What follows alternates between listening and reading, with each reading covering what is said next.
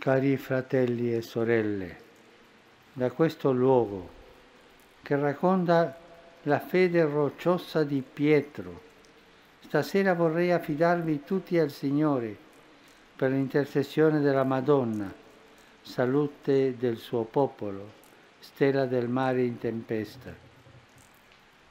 Da questo colonnato che abbraccia Roma e il mondo, scenda su di voi come un abbraccio consolante la benedizione di Dio.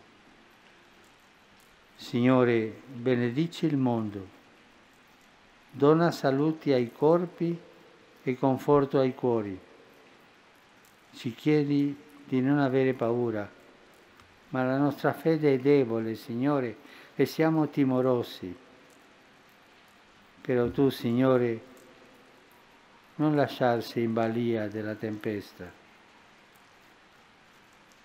Ripeti ancora, voi non avete paura e noi insieme a Pietro gettiamo in te ogni preoccupazione perché sappiamo che tu hai cura di noi.